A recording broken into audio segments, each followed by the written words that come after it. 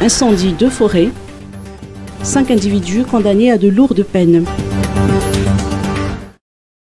Un individu auteur d'incendie de forêt dans la réserve spéciale de Manimbre a écopé de 10 ans d'emprisonnement ferme assorti de 70 millions d'arrières de dommages et intérêts. Quatre autres pris en flagrant délit de défrichement et de feu de brousse dans le corridor forestier d'Amouche à Vunjouj ont également été condamnés. Les deux ont été condamnés à 4 ans d'emprisonnement avec 20 millions d'arrières d'amende et 2,5 millions de dommages et intérêts. Le troisième à 5 ans de prison avec 20 millions d'arrières d'amende et 3 millions d'arrières de dommages et intérêts. Et le dernier à 2 ans de prison avec 10 millions d'arrières d'amende et de 3 millions d'arrières de dommages et intérêts. Le ministère de l'Environnement et du Développement durable rappelle que les délits environnementaux sont condamnés par la loi et que la politique de tolérance zéro est applicable pour de tels délits.